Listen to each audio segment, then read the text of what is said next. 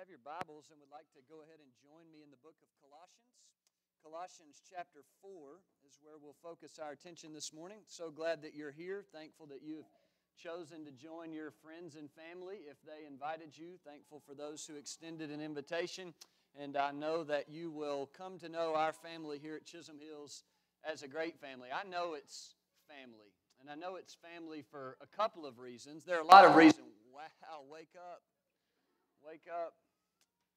We ought to be used to that by now, the folks that, that uh, attend here regularly. The switch from the pulpit mic to the lapel, it always uh, wakes everybody up. But I, am going to tell you how I know that Chisholm Hills is family. And I, and I think there's at least one person in every family that will relate to what I'm about to say. So, you know how uh, there's always one person in the family that that everybody else picks on. It could be the middle child. That's how it is in my family. We always pick on Jacob, my middle brother. But usually there's uh, just someone that the family picks on. And, and then, not just is there someone that the family picks on, but everything that person wears is called into question. They always comment on that person's outfit. Well, I've never ever been that person. We still pick on Jacob in my family for the things that he wears. But this morning I walk out of the bedroom and I had a tie on. And you know that I don't normally wear a tie on Sunday mornings, but I had one on this morning and I heard from my mom and from my wife this morning, You're wearing a tie? And I was like, Man, okay, that's my family. Well, then I walk in Chisholm Hills in the building and I, man, I've had 15 people say, You're wearing a tie this morning? It's family, man. That's just what family does. They they they rib at each other. They joke with each other. They get along with each other. They make jokes and have fun. But this family's also there in the hard times and the difficult times, and I've seen that so many times with this group here at Chisholm Hills. And I'm thankful you're here. Colossians is a book about relationships.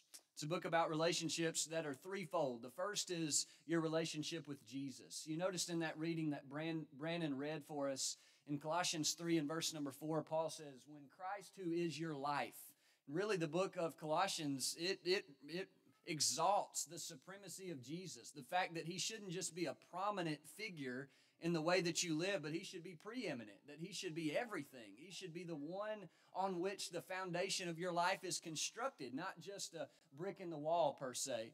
The second fold or the second idea of relationships is your relationships with other people. Not just other people, but other people in the world, right? And Paul talks a lot about our influence and our relationship and how we live out our calling in Jesus. If you read on in chapter 3, he talks a lot about the contrast between the new and the old man and, and how those people that have belonged to Christ, they are noticeably and distinguishably different than everyone else in the world. And the way that we relate to those people in the world is now transformed because we're Christians. And then the idea number three, or at least relationship number three, that's massive in the book of Colossians is the way that you relate to your church family the way that you relate to other people who are Christians, the way that you relate to people that have given their lives to Jesus just like you. And it's that that I want to focus on this morning. And the other things are going to be included, but I really want to draw into this idea of friends and family because that's why you're here. At least some of you are here because you were invited by your friends or your family. They count you to be friends or family, and hopefully you count them to be the same. That's usually the question that old folks ask,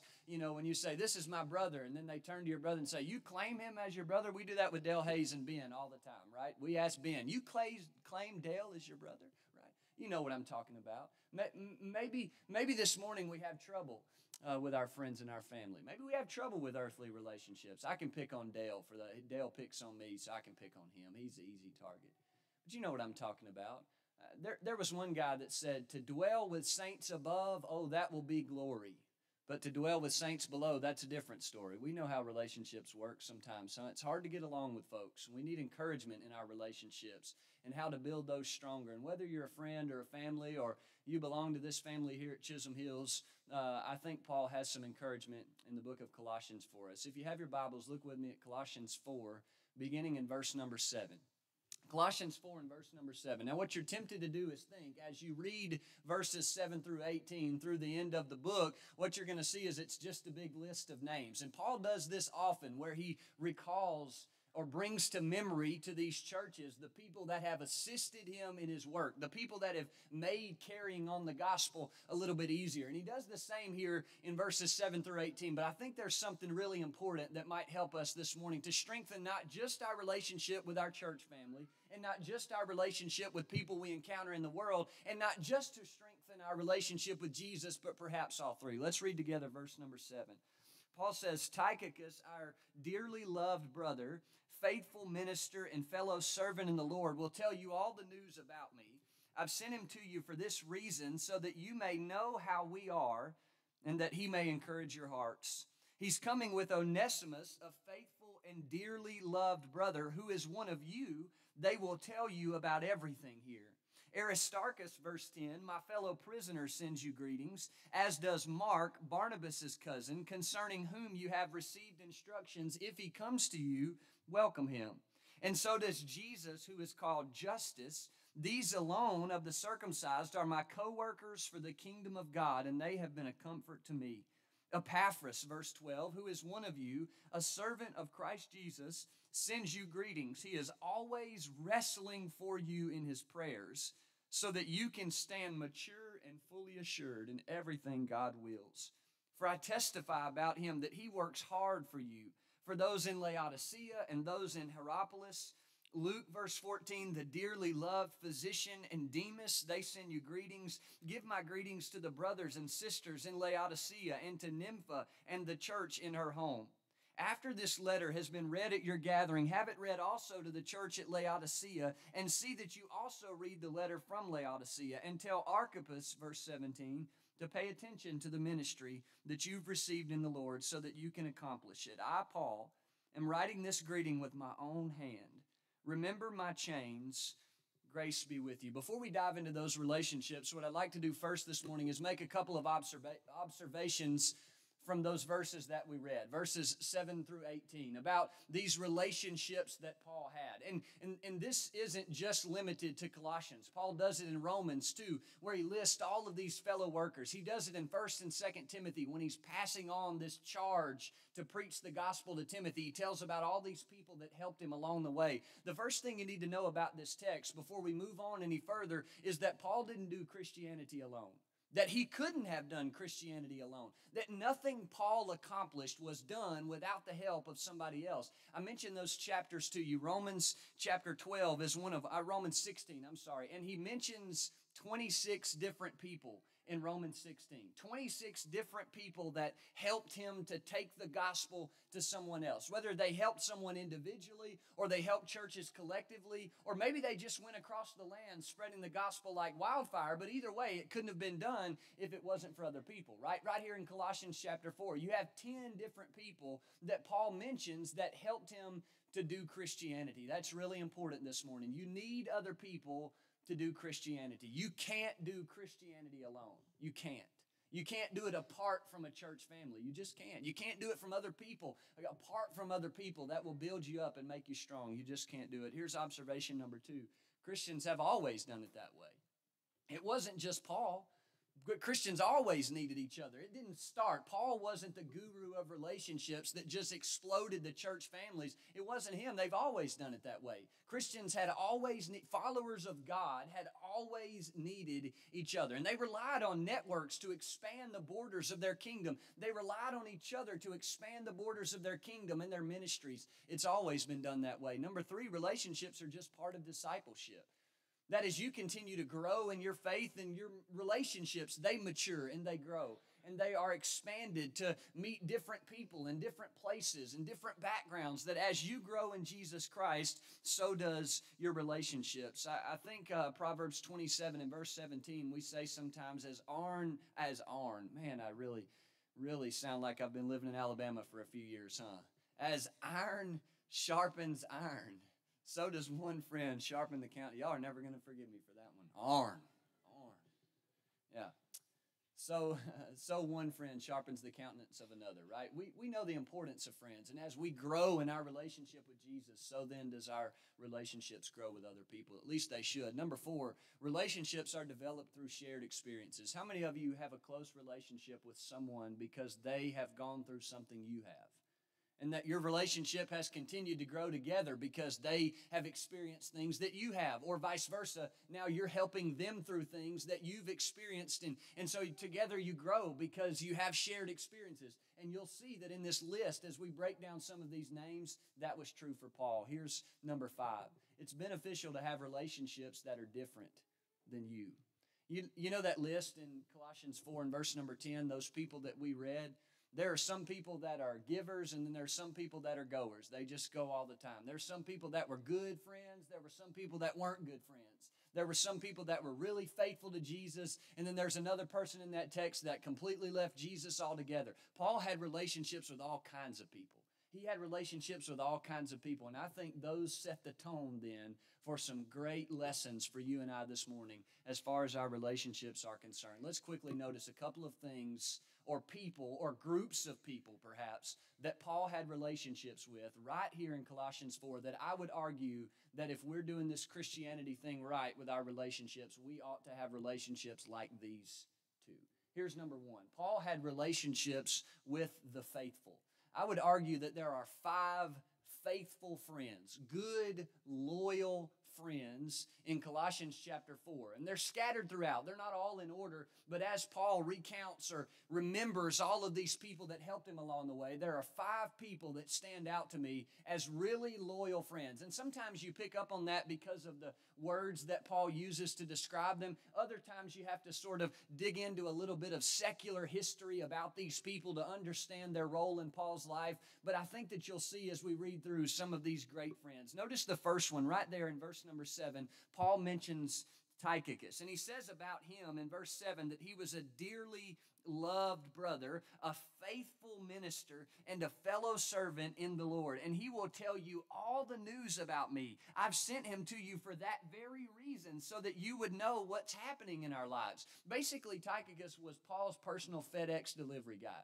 And, and, and not just do you see it in Colossians, because he says, I'm telling you, church at Colossae, I sent Tychicus, Tychicus to tell you this message. He says the same thing in Ephesus to the church at, at Ephesus. I sent Tychicus to you to tell you this thing. Over in the book of Philemon, he tells Philemon, I sent Tychicus to you to tell you this. Tychicus just did the work of Paul. Not just the work of Paul, maybe on a grand scheme as you broaden the scope. Tychicus did the work of Jesus because he was faithful to Paul because he was a loyal friend of Paul, because he didn't turn his back on Paul, because anything that Paul needed, that guy was there to help him. He was there to, to do anything to the church at Ephesus, to the church at Colossae, even to Philemon when there was this discussion about the slave Onesimus, which we'll talk about in just a few minutes anyway. But you see then how Tychicus was truly living up to his name or description of a faithful minister and a dearly beloved fellow servant in the bonds of Jesus Christ. I think there's no higher commendation of any other person listed in this section of verses than what Tychicus receives about Paul or from Paul about his character. There's nothing ever negative that I could find stated about Tychicus in all the scripture that he was a faithful, loyal friend to Paul. Here's faithful friend number 2 and it's in verse number 10. Aristarchus, my fellow prisoner, sends you greetings, is what Paul says. Now, not much listed about him. And so I was like, well, I need to find out a little bit more about this guy. And I came across something really interesting to me about Aristarchus. Not just is he a fellow servant of Paul, but he was with Paul on some of those missionary journeys when there was a riot in Ephesus. You remember reading in the book of Acts? Aristarchus was there when Paul was sailing and he, he came across the shipwreck. As he was sailing across the sea, Aristarchus was there. So he was there in some difficult moments in that ride in Ephesus, and he was with Paul during shipwreck. And now it seems like, according to Colossians 4 and verse 10, that Aristarchus might have been in prison with Paul. Now, the question is, and so many commentators and scholars have tried to figure this out, is whether or not Aristarchus was there by choice or if he was there because he had done something wrong. Now, some people suggest that maybe Aristarchus was there because of the same reasons as Paul, that they were just doing what Christianity demanded and they were preaching Jesus, and some people didn't like that, and it landed them in prison. That happened to a lot of people, not just Paul. So it could be the case that Aristarchus was there for the same reason that Paul was, because he was a loyal, faithful friend and he was helping him pre- spread the gospel, and so he landed himself in prison. But there was another perspective that I'd never considered before, never even knew about. Apparently, there was a Roman law There was a Roman law that allowed anyone who was in Roman prison, who was uh, imprisoned by Roman soldiers, they could have one personal attendant to serve with them their entire sentence while they were in prison. I didn't know this. And so maybe it is the case, if that is the case that Aristarchus chose to be there, it only further validates the loyalty and the faithfulness that Aristarchus had in his heart toward not just Paul, but the cause of Jesus Christ. He was a loyal, faithful friend. Here's friend number three, faithful friend number three. It's right there in verse number 11. He says, And so does Jesus who is called Justus. You know, Jesus was a popular name among Jewish families. In the Hebrew, it was Joshua. It means God is salvation, basically, is what it means.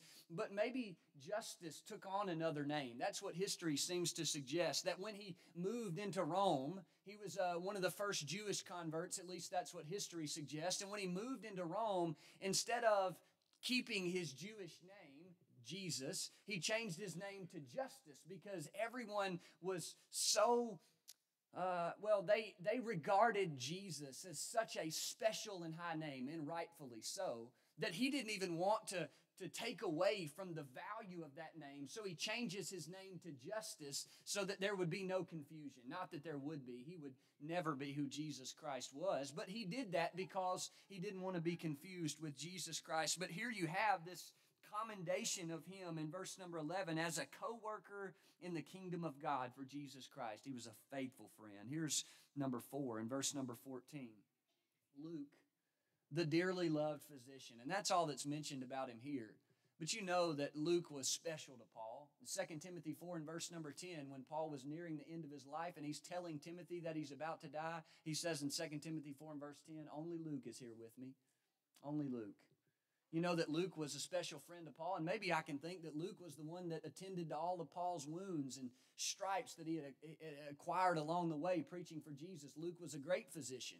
He was a great physician. He was very skilled. He was very precise and exact about the things that he did. And you know that because of the way that he wrote in the book of Luke, the gospel, and the book of Acts. He was a very precise and exact friend, but he was loyal and he was faithful. Even up to the end of Paul's life, he was the only one that remained. Here's faithful friend number five. And finally, look at verse number 15. You see this person that's mentioned, Nympha. Now, some of your Bibles might say something different, right? If you're reading the King James Version, you're going to see something like this Nympha and the church in his home. If you're reading pretty much anything else that's more modern, the ESV, the NIV, the CSB, maybe even something like the New King James, you're going to see Nympha and the church in her home. That's not a problem. It's not a contradiction. There's a couple of ways you can explain that and go through it. And so maybe I was reading and you heard Nympha and her home, and your Bible says Nympha and his. There's a couple of things. Some of the earlier manuscripts, the Latin Vulgate, they say his. It's a masculine Greek word. And so maybe people think, or you might draw from that, since it's a masculine Greek word, that it must be describing a man. But there are occasions where sometimes they would give the man's name to represent the household. And it could be that this woman, Nympha, was the leading Christian in her home. How many of you raised by good Christian women whose fathers weren't raised in the church, or maybe they weren't active in the church, or maybe you think of Lydia in Acts chapter 16, who was a great warrior for the Lord and did all kinds of things. She was a leader and and how and and uh, hosted a house church. Is what I was trying to say. She was a great leader in the church, right? Maybe Nympha was the same person, but regardless of whether or not it's his or her, whether or it's a guy or a girl, it doesn't matter. Paul lifts them up and exalts them as this person who is a faithful friend, who is doing great things uh, playing a critical role in the advancement of the kingdom of God. Now, here's my question, this is what I'd like to do as we move through some of these friends. I want to ask you a couple of questions that maybe drive it home. As we consider five faithful friends, here are my two questions for you. Number one, do you have faithful friends? Do you have loyal, faithful friends? People that stick close to you no matter what. And then the follow up is this Are you a faithful friend? Are you loyal? Are you faithful? Will you stick stick with them no matter what? Will you turn not turn your back on them when it gets hard? Will you be there with them through thick and thin, right? Are you a loyal friend? Here's group number 2 that Paul encounters in, in Colossians chapter 4, at least that he describes. There were some fervent friends. There were some fervent friends in the text, particularly there was one, and I want you to notice him in verse number 12. He mentions a guy named Epaphras. And he says, Epaphras, who is one of you, which is he was from Colossae, sends you greetings. He is always wrestling for you in his prayers so that you can stand mature and fully assured in everything God will. So basically, what Paul says about this guy, Epaphras, is he's a prayer warrior. That man prays all the time for you. He prays intense, passionate, intentional prayers about you.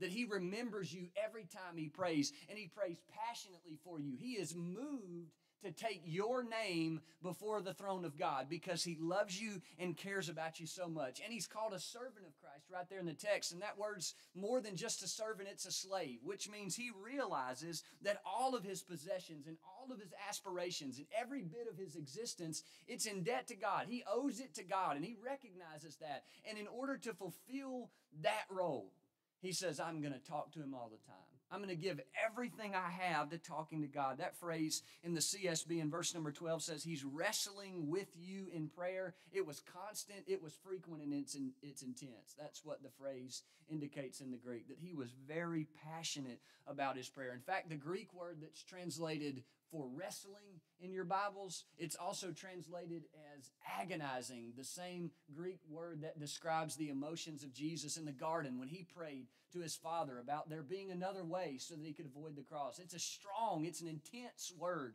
And that's the way that he describes this guy, Epaphras, that he was fervent in prayer. He was constant in prayer and he was intense in his prayer. Notice what he's praying for. He's praying for the Colossians to not give in to some of these false ideas or these false notions, but that they would be confident in Jesus Christ. That they would be confident in the assurance or the hope that they have through Jesus Christ. He wanted them to stand firm. Now, of 10 people mentioned in Colossians 4, there's only one guy that's praised for his prayer life, and it's Epaphras. Now, that doesn't suggest that all the other people didn't pray, but it just means that this guy viewed prayer as his ministry. That he says, I may not can do much, but I can pray. I can pray for folks. And if praying is the only thing you can do, what a good thing to be able to do. Here's my question for you as we consider this group of people Do you pray for your friends? Do you pray for your friends?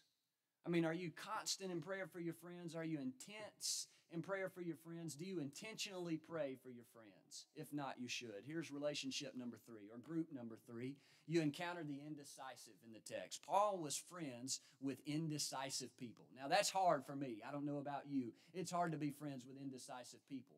But Paul was. Look with me at verse number 17. He mentions a guy named Archippus and you listen to the admonition that Paul gives to Archippus. The admonition means to put in mind or to be intentional about reminding of the duties or obligations that you have. And that's exactly what Paul does in verse 17. Listen to it. He says, Pay attention to the ministry that you have received in the Lord so that you can accomplish it.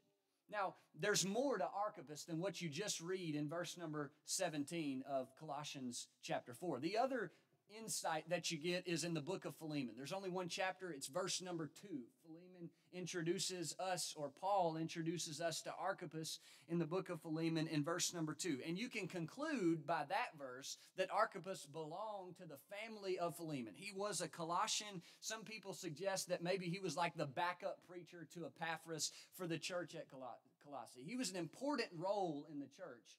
But apparently, at some point or another, in his desire to follow Jesus, he became indecisive. Obviously, Paul is encouraging him or admonishing him to fulfill his role, to step up and finish your work. Don't, don't play church. Don't just balance between the two. Fulfill your work. Pay attention to your ministry. Give everything that you have to it. And so, somewhere along the lines in Archippus' life and his faith, there was a little bit of wishy washy. Maybe he was sliding spiritually. Maybe the work of the church got too much for him. Maybe there were too many people criticizing him. Something happened in Archippus' faith, as it does in our own, where we get tired sometimes. And it's hard to be all in on Jesus Christ. It's hard to fulfill or complete our work in Jesus Christ and to do our best because we just get spiritually tired and we slide a little bit. Or sometimes we just simply lose our focus. That happens to all of us. And Archippus was that guy. He needed a nudge. He needed a little nudge to think about hey, Archippus, come on, get back to work, man. Decide to follow Jesus. Fulfill your ministry. How many of us have needed that nudge? Are you thankful for the people that gave it to you? You may not have been in that moment. It might have hurt a little bit. It might meant that you had to accept the reality of your situation and you need to make some changes. But I guarantee you that every person that's sitting here right now is thankful for the person who gave them a nudge, who helped them decide a little bit. Let me ask you a question. Are you that friend? Can you think of somebody that needs a little nudge? That's struggling in their faith, that's spiritually tired, that loses their focus? Can you be the friend that nudges them a little bit and helps them out of the rut that they're in and gets them back on the course? Paul was that guy. Jesus was that guy. Let's be those people, right? Here's group number four that Paul encounters in Colossians chapter 4. He, he encounters the unfaithful. Paul was friends with unfaithful people. And you know, we say all the time, well, you don't need to be friends with the world. And that's true. James is right. You don't. To be friends with the world is to be enemies with God. And that's not what we want. But we'll never be able to convert anybody. We'll never be able to change anybody. We'll never, ever let people see the goodness of Jesus if we don't have relationships with people who aren't faithful to Him. And I want to point out one person in the text. And I know that you're going to know who he is when I read his name, but he's in verse number 14. There's not much mentioned about him. Luke is the dearly loved physician. And right after that, it says, Demas sends his greetings. It's kind of like this friend I had when I was growing up. I, I, I think I went on more dates when I was in high school with this friend and the girl than I did with just a girl alone. Like he was my best friend and he went everywhere with us, everywhere with and still to this day is one of my greatest friends. But he was also kind of annoying sometimes. You know, you can say that about your best friend, right? That, that sometimes your best friend can be a little bit annoying when you spend a lot of time with them. And he was this guy that, say, I was on the phone with a girl, and he would be in the background constantly saying, Hey, tell her I said hey, tell her I said hey, tell her I said hey. And finally, just to appease him and make him shut his mouth, I would say, And Logan says hey, you know, like that. Just, just so, and she didn't care to hear from him, and I didn't care to tell her, but I just had to say it so he would be quiet. And I think that's kind of how Demas is treated in Colossians 4. There's not much said about him, and there's some other things about other people that are included, but Demas just gets, oh, by the way, Demas sends his greetings. And that's kind of how it's pictured. And there's there's some inconsistencies in Demas's faith, and they're not included in, in Colossians 4, but you find them out later in 2 Timothy chapter 4 and verse number 10. I said that about Luke earlier. That was 2 Timothy 4 and verse 11. This one's 2 Timothy 4 and verse 10 where it says of Demas that he has deserted us. He has forsaken us, having loved the present world. And that was just a few years after Paul wrote the book to Colossians, to the Colossians. Maybe Paul could sense something in Demas's faith. Maybe Paul could read the signs on the wall. Maybe he could see the actions or the lack of actions. Maybe Paul could see the faith or the lack of faith that Demas had. Maybe he could see that he was starting to, to backslide a little bit. Maybe he could see that Demas had a relationship with the world and he wasn't really faithful to Jesus Christ. Paul could see all of that, and so can we, right? Nobody that's living one foot in and one foot out is, everybody can see it. We fool ourselves into thinking they can't, but everybody does. And maybe Paul could see it about Demas. So Paul includes him in this list, and I think it's noble of Paul, but I want you to know that Paul had a relationship with this guy. And there's a couple of other places that he's mentioned. He's mentioned uh, in, in the book of uh, 2 Timothy that I mentioned, and that's the unfaithful version. But Paul often throws him into this list of people that he had a relationship with, and I think there's something there. I don't know what happened in Demas's life. It was a weakness, it was a slip up. There was something that happened that caused him to become unfaithful to the Lord. But I think it's really important that Paul had a relationship with him. Now, here's a couple of questions I have for you. Has that happened to you? Have you slipped like Demas? Are you unfaithful to the Lord? Is there something that's causing you to sort of drift or slide away from Jesus Christ? And let it not be said of you that you deserted him, having loved the present world. We don't want that to be your case this morning if it is you. But then the question that I would like to ask you about your friends is do you have relationships with people like that? That if anybody who has deserted the Lord, would they feel comfortable talking to you if they wanted to come back? Do they know that you care about them if they wanted to come back? Do they know that you wouldn't judge them if they did tell you that they had sins in their lives, but that you would point them to a Jesus who would forgive them and bless their life and change their life? Are you that friend? We should be. Here's group number five that Paul encountered finally this morning. He encountered the forgiven. He had relationships with forgiven folks. There's two friends that fall into this category in the text. They are Mark and Onesimus. The first one, Onesimus, that we'll talk about, you remember him from the book of Philemon. He was a slave. He was a slave that ran away from Philemon and met Paul in Rome, and he was eventually baptized and saved. And then Paul sent him back to Philemon because he said, Look, you need to make this right. You're a Christian now. You're a dearly loved brother, is what he mentions in the book of Philemon. And he sends him back with that very commendation to Philemon and says, I want you to receive this guy. I know he ran away from you. I know he did what he shouldn't have done, but he's a Christian now. He's a brother in Christ, Philemon, and you accept him. Jesus forgived him. Forgive him. Gracious, words are hard. Jesus forgave him Paul forgave him, and he wrote the book of Philemon in hopes that Philemon would forgive him too. And I think he did. But here you have this guy, Onesimus, that had done his fair share of wrong. And he had come back to the Lord, and Paul was friends with that guy. He liked to be surrounded by people that were forgiven. Then you think about Mark.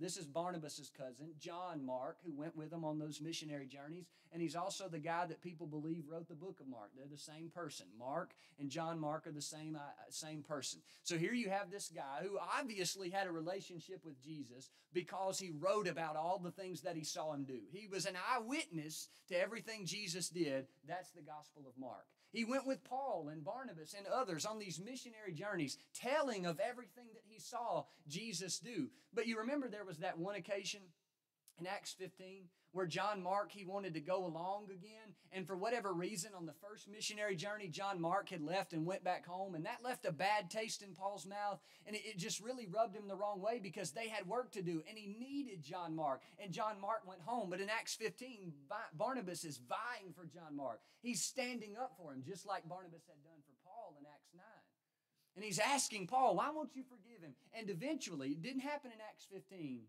but eventually it did Eventually it did. You learn later in life when you consider John Mark and what happens. Over in 2 Timothy chapter 4, when he was telling Timothy about the people that were there with him, he mentions Luke was with him. He says, Demas has forsaken me, but he mentions this about Mark in 2 Timothy 4 and verse 11. Get Mark and bring him to me because he is useful to me in my ministry. He is helpful to me in my ministry. So, somewhere in between Acts 15 and 2 Timothy chapter 4, John, Mark, and Paul had they had mended fences. Paul had forgiven John Mark, and they had a relationship together. Here's my question for you. Are you a forgiving friend? Do you hold grudges over people that hurt you? Do you hold grudges over people that have caused problems in your life or hurt your family? Forgive those people. Be a forgiving friend. Mend fences. Be a forgiving friend. Here's my encouragement to you this morning as we consider those five groups of people that Paul had a relationship with. Paul, Paul was an expert at relationships, he was good at them. He was good at building bridges with people that had never experienced Jesus in their life. He had a testimony that was unlike most. He was saying, I was the worst of the worst. He tells Timothy, I was the chief of all sinners. He had a testimony that was powerful. But he could say and use that testimony, use the experience of his transformed life with Jesus and help other people see Jesus. He then could take the people that were faithful at once and weren't anymore and have a relationship with them. He could take the people that give their lives to Jesus and be friends with them. Paul could literally be friends with anyone. Do you know why? Because he let Jesus rule in his heart. Christ was his life. Colossians 3 and verse number 4. Everything Paul did and everything Paul said was governed by the supremacy of Jesus Christ. And it's possible for you this morning to have relationships with all kinds of people, with people who are loyal, with people who are fervent. And I hope that these describe us. But you can be friends with the indecisive, you can be friends with the unfaithful, you can even be friends with the forgiven. And we hope that the indecisive and the unfaithful, they come back and you're friends with them because they're forgiven. And as a result of your friendship, they are forgiven. You can be friends with any of those people.